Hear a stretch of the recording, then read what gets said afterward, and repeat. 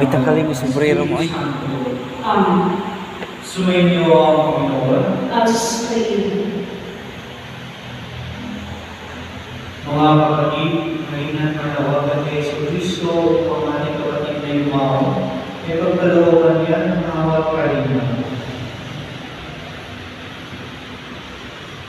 Panginoon Yesu Cristo, sa pagkakaling mo ng iyong buhay para sa lahat, ipinamalas mo ang pagmamalas namin pag-ingat. Panginoon, kawaan mo kami. Panginoon, kaawaan mo. Panginoon Yesu Cristo, sa iyong pagkalinda sa kamatayan, nag-isa ka sa aming mapagkalagayan ng Kristo, kaawaan mo kami. Kristo, kaawaan mo. Panginoon Yesu Cristo, sa iyong ito na buhay, pinatatag mo ang aming pananampalataya sa walang ng buhay sa kapila. Panginoon, kaawaan mo kami. Panginoon, kaawaan mo. Kaawaan mo ang Panginoon Yesu Cristo, ang ating kapatid na yumawa. Patawarin ang kanyang mga kasalanan at pagpapayin siya sa buhay na walang hanggan. Amen. Manalangin tayo.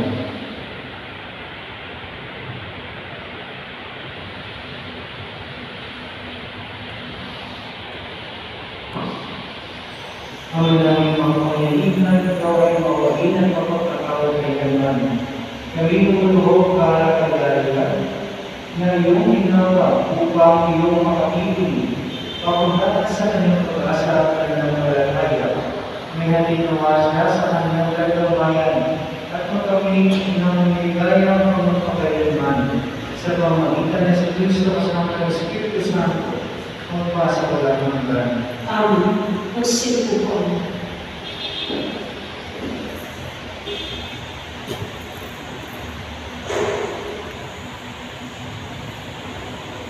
Sa Talmud. Okay, so katagal pa to? Isang oras. Ang sagot mo, sama ang sinabi kay Dad Personal, at ito ang magawa ng sampo ama. At sa gabi ay inumin ito mga salita upang sa araw ng muli, mabasa ng mga tao. Alam hindi nagpulog ang aking pinagpaligtas na sa aking magkakaluwa pagdating noong bukas. Pagkatapos ng malalawin itong aking balat, ang Diyos ko'y mamamalas kahit naman ay kaulis. Siya'y aking mamamasdan at mula ang makikita ng sarili naman at di ng sino pang ilan. Ang salita ng Diyos. Salamat sa Diyos. Panginoon, aking mahal, panalangin ko'y Panginoon. Panginoon, aking mahal, panalangin ko ay Panginoon. Timbin mo ako ng aking dalawin, kapagkat matuloy kaya't ako'y iluman. Itong iyong lingkod, pagmamahal sa buhay, bakit mo na lahat kami ay sarili. Panginoon, aking mahal, panalangin ay Panginoon. Araw ng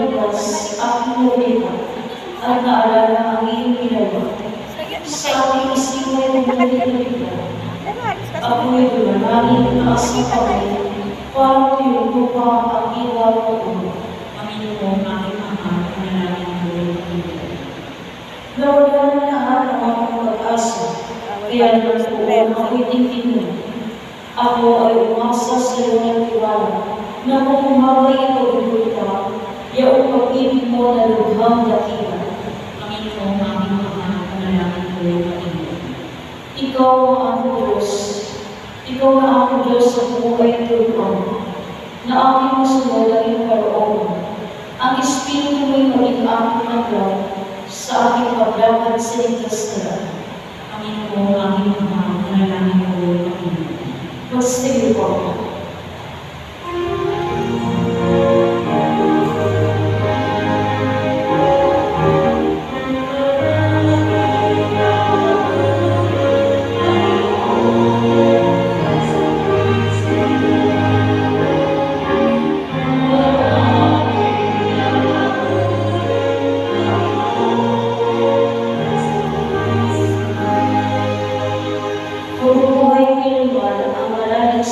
é o nome dos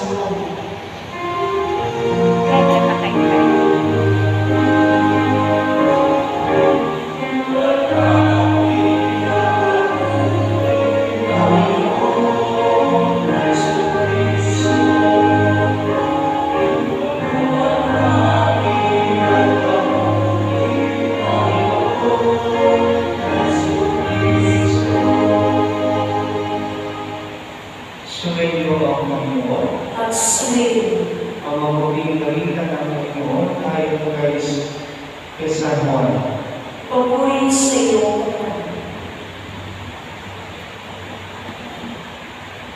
Noong panahon yun, sinabi ni Jesus sa kanyang mga nagaw, Huwag kayong mabalisa. Manaling kayo sa Diyos at palagi din kayo sa akin. Sa kamay ng aking ama ay parang isingin. Kung hindi kayo, sinabi ko sana sa inyo. At parulong ako upang pagkagawa kayo ng. Kapag naano na ako at may, may paghanda na kayo ng matirhan. Babalik ako at isasama kayo sa kinaroroonan ko. At alam, alam niyo ang daan patungo sa pupuntahan ko. Sinasa, sinabi sa kanya ni Tomas, Panginoon, hindi ko namin alam kung saan, kung saan kayo pupunta. Paano namin malalaman ang daan? Sumunod sa Jesus, Ako ang daan, ang katotohanan at ang buhay.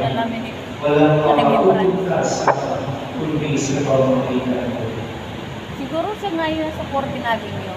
Ang mabuting balikan ng Tignan ko yung ano niya dito niya ngayon. Baka na kayo nakita na sa.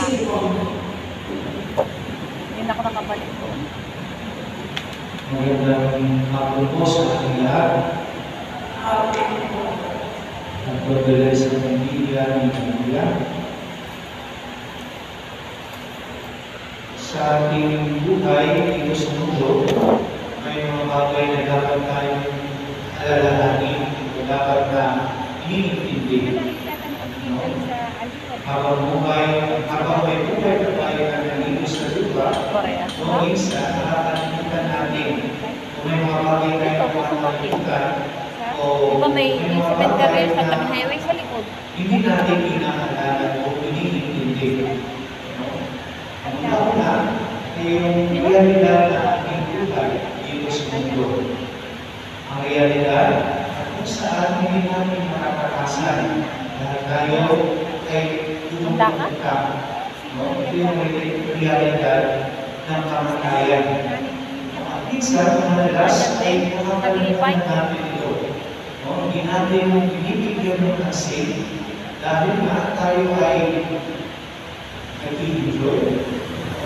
Kaya busy tayo sa ibang bagay.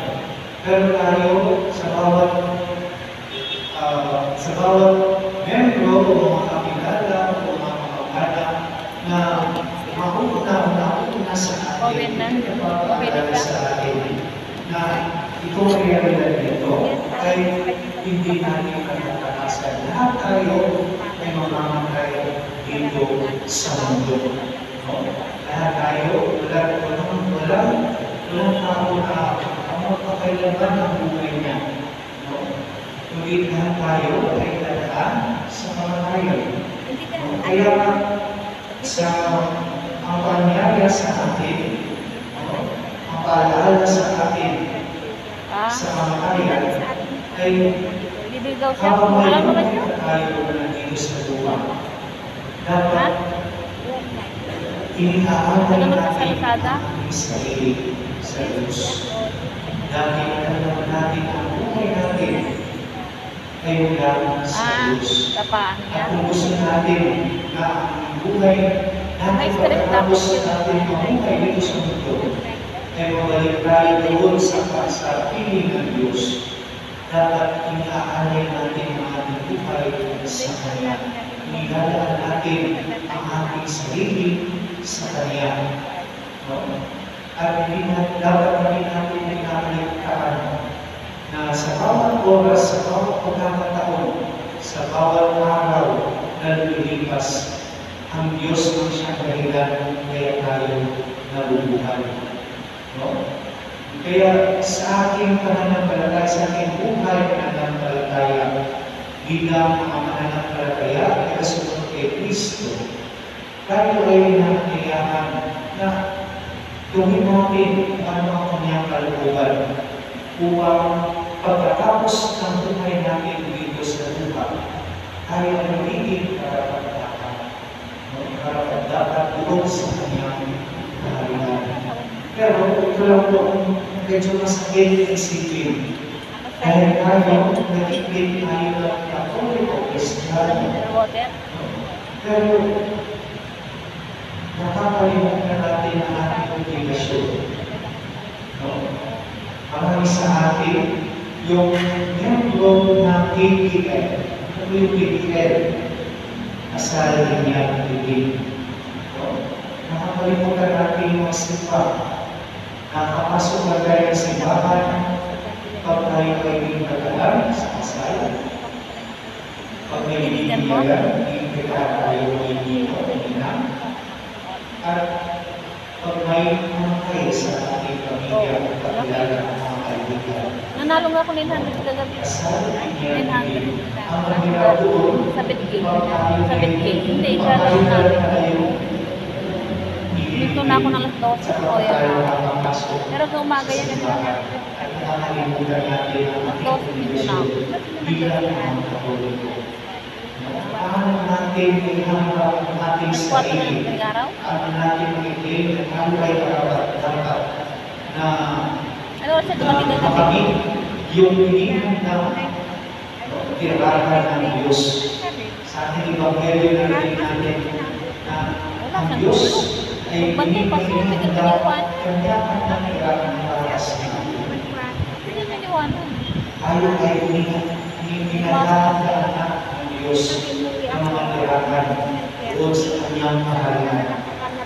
Paano tayo maihaharap yung ating sarili na tayo para sa kailangan na yun? Na kung sa natin na nandito tayo ay hindi natin nalawagan, hindi natin ginagawa ang kalikuhan ng Diyos, ang kagustuhan ng Diyos. No? Kahit makapagsimba, hindi natin magawa. Siguro sa mga basic na mga panalangin, hindi na natin umagyado, hindi na natin sa urado. No? Paano natin iharap yung ating sarili? At ang pangalawang realidad ay yung buhay natin o yung pamatayan natin dito sa lupa ay hindi ito ang katapusan ng lahat.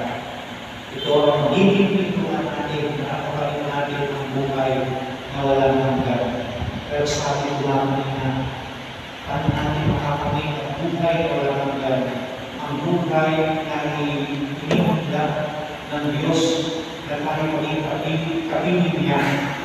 Kung hindi natin inihanda yung ating buhay, habang tayo ay nabubuhay pa dito sa mundo, inihanda natin yung ating sarili para sa ibang walang kabubuhang buhay. At hindi natin ginagawa na ginagawa ang kalooban ng Diyos. Paano natin makakalit yung buhay na walang hanggan pagkatapos ng ating buhay dito sa mundo? Hindi natin iniladaan o inihangalay yung ating sarili para sa Diyos. At tayo mga Pilipino, marami tayong mga mga superstitious belief. Marami tayong mga ang tawag sa Tagalog, mga pamahiin. No? Marami tayong pamahiin na hindi naman tinituro ng ating simbahan, na hindi naman tinuturo ni Jesus. Minsan, sinusunod natin yung tinuturo ng mga matatanda. Sino ba ang Diyos ang mga matatanda? Ano ang Diyos talaga na naging sa atin? Paano natin mayaharap yung ang sakit kung gano'n kung sinusunod natin yung hindi tinuturo ng simbahan, hindi tinuturo ng ating Panginoon. Usually sa pamilya tayo sa o sa pamilya, sa pamilya, sa natin Yung mga taga-piging siya. Kaya yung mga tayo na sa pagkagilid-gilid, mawala ng mga balik-balik. Wala po yung hindi yan tinuturo ng simbahan. Kailangan iikot. Mas paniwalaan. Na na dito. Oo. Hindi po yan tinuturo ng simbahan. Dami tayo mga pamahigit na siya umahanap sa atin para lumago tayo, para lumago yung aming pananampalataya. Pero tayo mga Pilipino, mas sinusunod natin yun kasi napapahal ang ating kaluluwa. Mas sinusunod natin yun.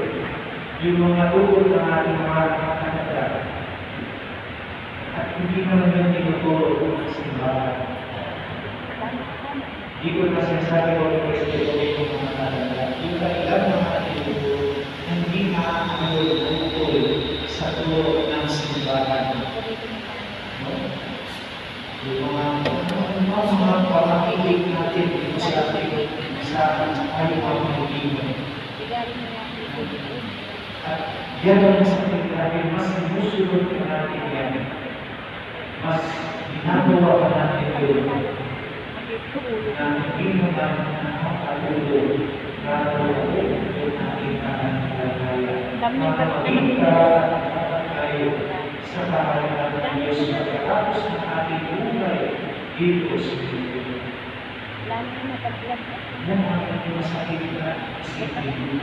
Dahil mas sinusunod natin yung mga. Kaya ayaw na mga nangyarito pa, nagmay. No? Patuloy natin pagkasal at ating mga kapatid, mga mag-anak, mga pamilya, mga kaibigan na nauna sa atin. Patuloy natin sila panalangin mo. Patuloy natin yung mo. Huwag natin hayaan na pag pag-umbebel sa hirap namin sila mga akala.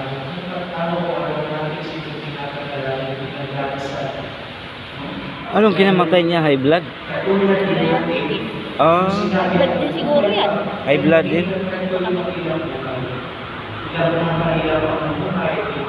Ba't parang pumayat si Juliet? Ha? Si Juliet pumayat.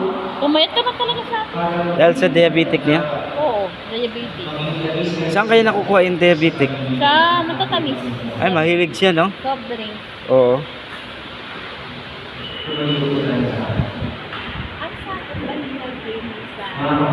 Tayo daw. Inuman niya muli ang niya si Jesus, si Cristo, upang maging na lahat ng tao. Sa bawat panalangin tutugon, ang mga makapangyarihan, kami iyong mahawaan. Ang mga makapaglihan kami iyong kawa.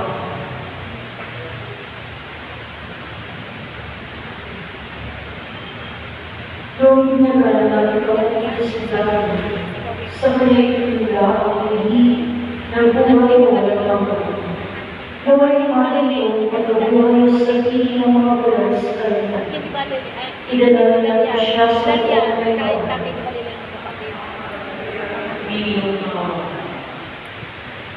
Ang lahat ng namatay ng mga sa huling mabubuhay ay nagpundawang gawin ng Diyos sa piling niya sa kalangitan.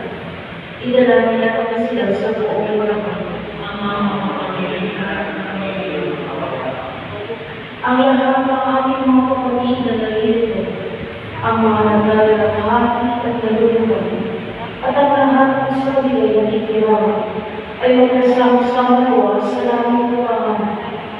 Idalangin natin sila sa buong laman. Ang mga ko ba? Gawin gawin wala ng Panginoon ang ating mga liwa ang mga pamilya, kamag-anak at nagkakaupang ng Lord. Idalangin natin sila sa buong ngayon. Ang mga makapangyarihan, kami iyong mahawaan.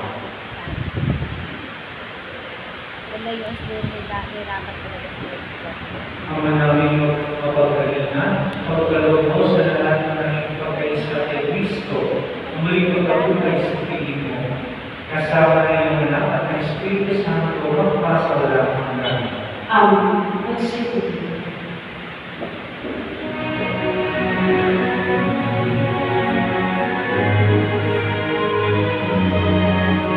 Doon yung living sa kila Kiko, banda?